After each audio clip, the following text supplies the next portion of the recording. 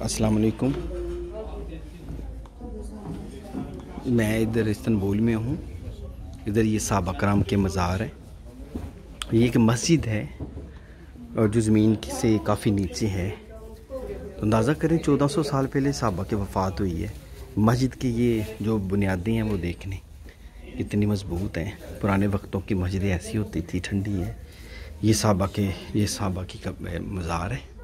ان کی قبر مبارک ہے۔ یہ ان کا نام لکھا ہوا ہے۔ عمر بن اس رحمۃ اللہ علیہ یہ لکھا ہوا ہے کہ پڑھ لیں۔ یہ اللہ کے صحابی تھے۔ یہ ہے۔ وہ بن حسرائے وہ بن وہ بن حسرائے رحمۃ اللہ علیہ۔ یہ صحابہ کی قبریں۔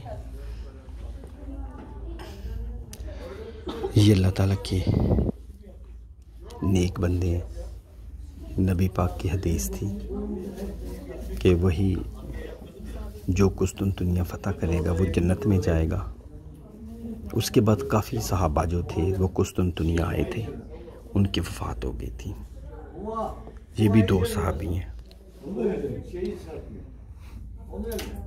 یہ وہ خوش قسمت لوگ بھی ہیں جنہوں نے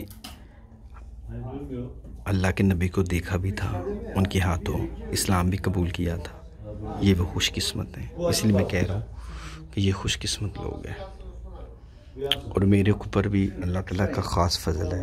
میں بھی خوش قسمت ہوں کہ اللہ تعالیٰ نے مجھے بھی موقع دیا کہ میں صحابہ کی قبر میں جاؤں یا صحابہ کے مزار میں جاؤں۔ تو یہ میں استنبول میں ہوں۔ اس کے بعد یہ مسجد ہے۔ ادھر لوگ، یہ مزار ہے۔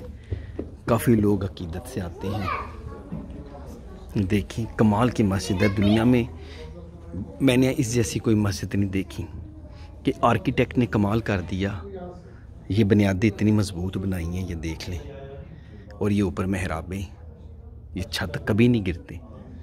صدیوں پرانی یہ مسجد ہے پانچ وقت کی نماز ہوتی ہے۔ جمعہ ہوتا ہے۔